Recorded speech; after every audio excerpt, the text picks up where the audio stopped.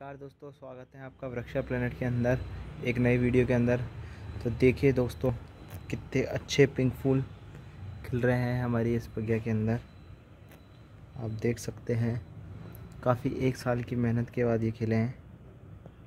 और ये बहुत ही अच्छे लग रहे हैं देखने में, बहुत सुंदर। आपको इनको पास से दिखाता हूँ, ये देखिए। वो भी दिखाते हैं आपको। ये देखिए गाइस कितने सुंदर लगते हैं ये। आप भी अपने घर पे लगा सकते हैं इनको। और ये देखने में बहुत ही सुंदर लगते हैं। और ये बारिशों के टाइम में ही आते हैं। और ये आराम से ग्रो जाते हैं। इनके छोटे छोटे बल्ब होते हैं, उनको अलग लगा के लगा सकते हैं।